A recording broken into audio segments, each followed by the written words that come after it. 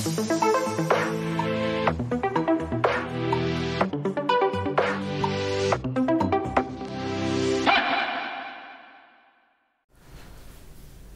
to all students, I hope you are doing fine. Today we are going to discuss structure and function of bones. So let's look at the structure of a bone. As you know that bone is a dense connective tissue and bones are very important part of our skeleton. This is a diagram of a bone.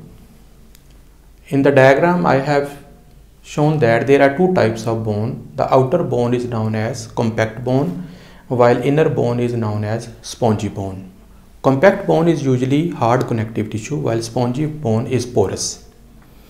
The outermost layer of a bone is known as periosteum while the innermost layer of the bone is known as endosteum.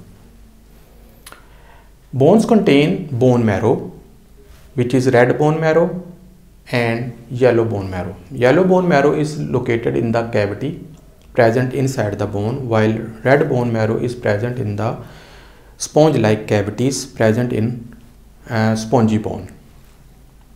There is also blood supply to bones with the help of blood vessels as you can see in the blue and red diagram. Bones are also provided with nerve supply and vessels from lymphatic system. Bones have many important functions which we will discuss later on. If we look at the matrix and composition of bone, each bone is uh, formed by fusion of many small bones which are made up of cartilage. Usually in the embryonic stage, we have more than 300 bones in embryonic life which are made up of cartilage. But during a process known as ossification, our cartilage is converted into bones. First of all, bone matrix is formed. Bone matrix is a framework of a bone which contain 90 to 95% collagen fiber protein. Elastic collagen fibers of protein which are known as ossein which made up of 90 to 95% of a bone. When a matrix is formed, the remaining material is known as ground substance.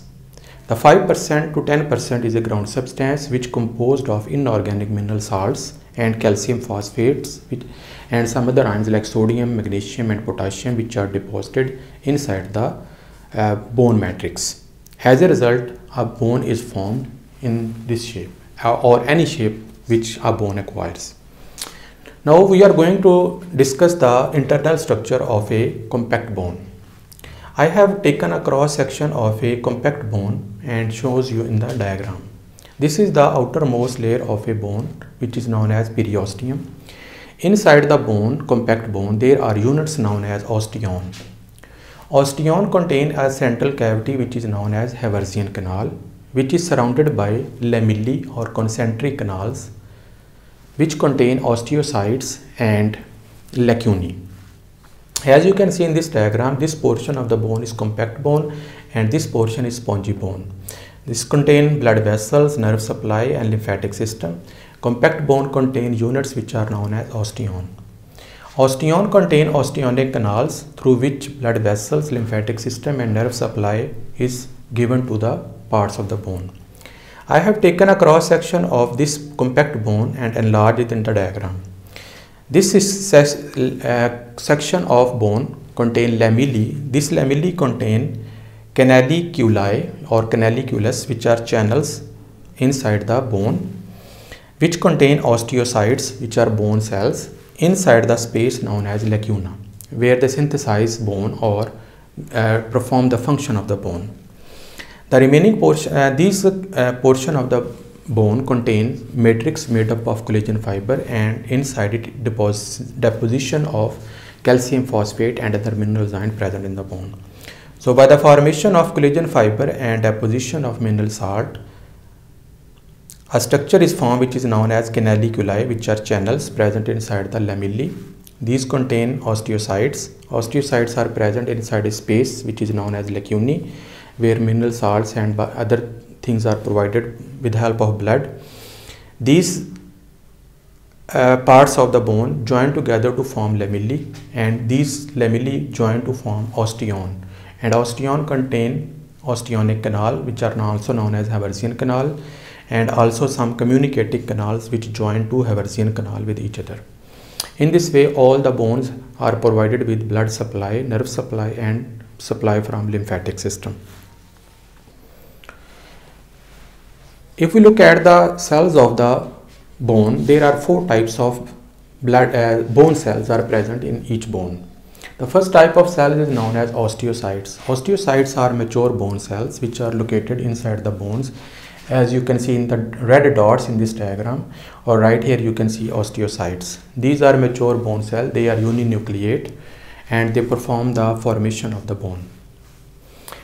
The second type of bone cells are osteoblasts which are bone forming cells. These cells are uh, transported where new bone is used to be formed. These are also mononucleated cells and they are going to form new bone after a fracture or after a conversion of a cartilage into bone. The third type of uh, bone cells are osteoclasts which are bone dissolving cells.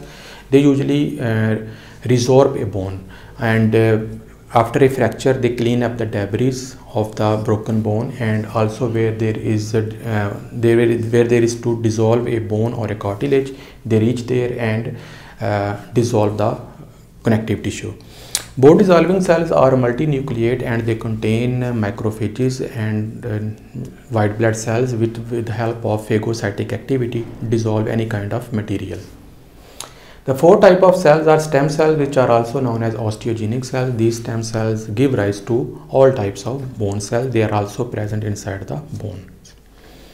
Now let's discuss some important types of uh, uh, bones. There are four types of bones, five types of bones, long bones. Long bones include uh, femur, radius, ulna and long bones in our body.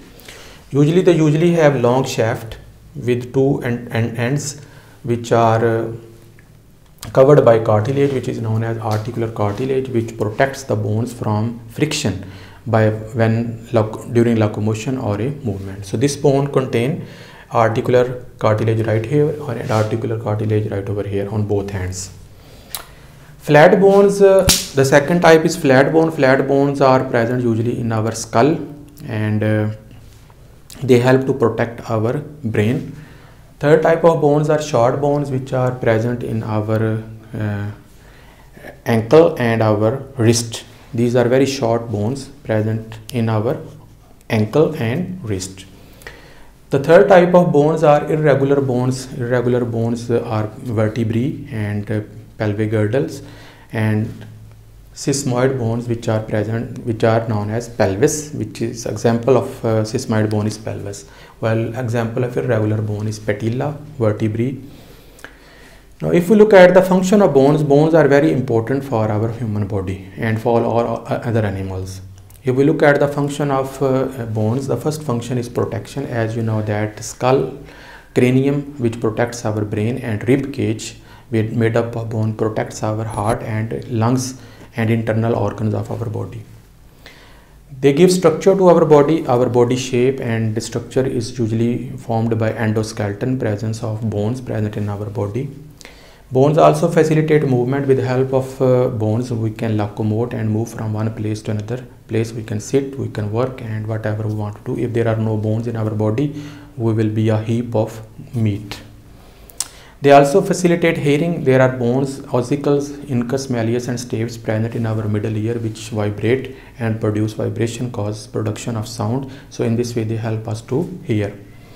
They also contain bone marrow. Bone marrow can uh, contain uh, fats, can fats can be stored and also they also contain red and white bone marrow where red and white blood cells are produced. They also store calcium and phosphorus inside our body. So in this way they help to store calcium and phosphorus in our body. Extra calcium is stored in the bones. They also synthesize blood cell in a process known as hemopoiesis which we will discuss in uh, upcoming lectures. There are many stem cells present in red bone marrow and white bone marrow where red blood cell and white blood cells are produced and also megakaryocytes are originated uh, originate uh, platelets. So there are mostly 2.5 billion uh, platelets and red blood cells are produced every day and more than that white blood cells are produced and are added into the circulatory system. they also regulate acid base balance by uh, uh, releasing some ions and minerals into the blood to maintain the pH of the blood. They also store fat. They contain adipose tissue where uh, fats can be stored like in white bone marrow they also are involved in detoxification process during which certain toxic chemicals are removed and neutralized by the body. So in this way today we have uh, tried to discuss the structure and function of uh, bone. I hope you have understood this topic. If you do please like it subscribe it and share with your friend and we'll see you in the next lecture. Bye